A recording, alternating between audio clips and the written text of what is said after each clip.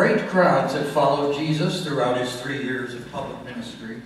They listened to him teach, watched him heal, and asked him to bless their children. Privately, Jesus had begun to prepare his disciples for what would happen soon during Passover in Jerusalem. Together, they shared some tender moments at the Passover meal. Yet it was difficult for the disciples to understand what the Master truly meant when he broke the bread and said his body would also be broken for them, when he poured the wine and said his blood would be spilled for them. This was not the path to victory they expected their king to take. Later that evening, in the Garden of Gethsemane, Jesus was troubled and overwhelmed with sorrow. As their king prayed, surrendering his life to his Father's will, his closest friends slept.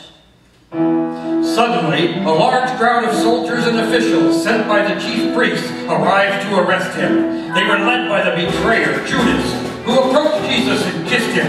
The king had been identified, but instead of bowing in honor, the soldiers seized him and arrested him.